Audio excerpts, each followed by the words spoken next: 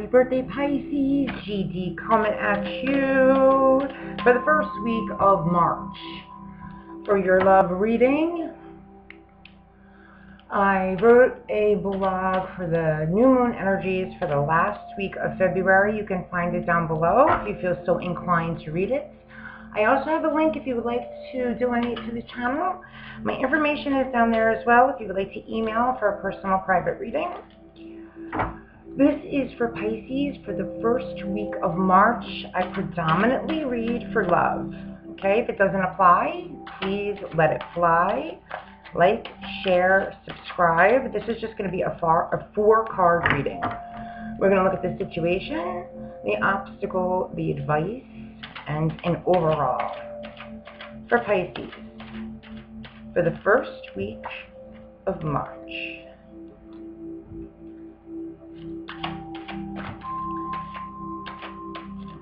This will be for singles and or couples, anybody that you are energetically connected with.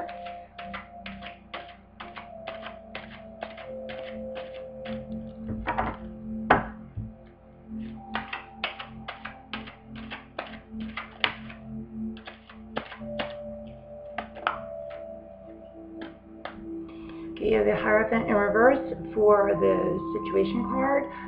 Right, you could be dealing with a marriage of some sort or some sort of commitment. This could also be legalities. It's tax season. You could be dealing with some spiritual higher understanding or complication. You could be questioning your spirituality. You could be questioning the commitment. Uh, again, it is tax season.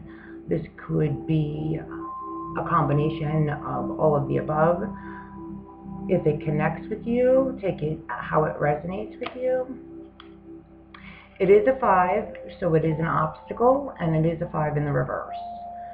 So you could be dealing with uh, coming together with your partner as it relates to finances, as it relates to the commitment, as it relates to the understanding of such. Confusion, okay?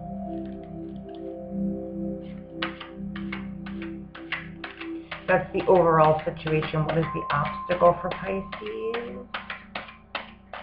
Please look at your sun, moon, rising, and Venus.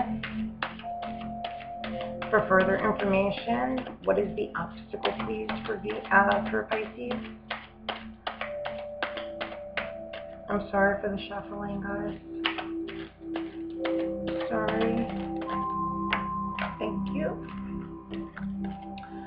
All right, the Hierophant is considered Taurus. You could also be dealing with a Virgo or Capricorn, money issues overall.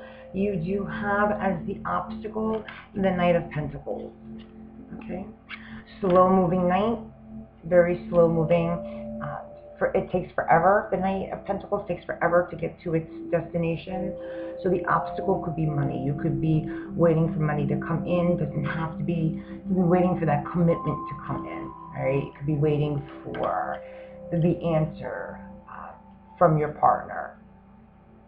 Pisces, again, you could be dealing with a Taurus, a Virgo, or a Capricorn.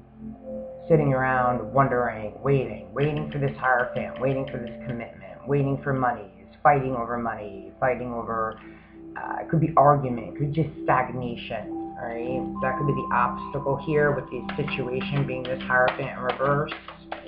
What's the advice?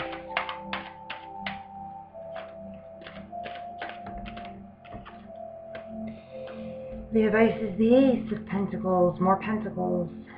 Alright? The Ace is a new beginning. The Ace is the hand of God. Here, uh, with the Pentacle, it's tangibility. It is this knight is coming in. The obstacle here is He's coming in on the horse, not moving, bringing the hand right here. Okay? So eh, the obstacle here is waiting for the advice. right? so we want this. This is the the overall situation is this commitment in reverse, this Hierophant in reverse. Again, this could be money, or this could be you, Pisces, as a love reading, waiting for this commitment. All right, waiting for this to happen. Taurus, Virgos, Capricorn.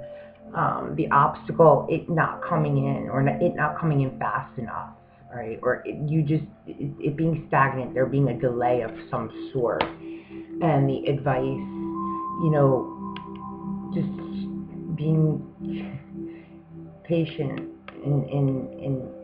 I, I'm sensing, and I'm waiting until I get to this the overall. Which let's see what the bottom of the deck is real quick. Oh, look at that. the lovers. Or excuse me, the two of cups, which I I always sense is a Leo card. I I feel it's it's Leo just with the it's just my Leo card. So you Pisces, this patience here, it, it, this is your love reading. I when I look at the the Ace of Pentacles, to me that's it symbolizes the sun coming in. The patience of this this knight of Pentacles is always the slowest knight in the deck. It's the only horse that isn't moving. Um, earth signs take a long time. Uh, Virgos, Capricorn, Virgo, Virgo, dare I say, if you're dealing with a Virgo, take forever to get to their destination. But when they do, they're the most tangible, solid commitment. Okay?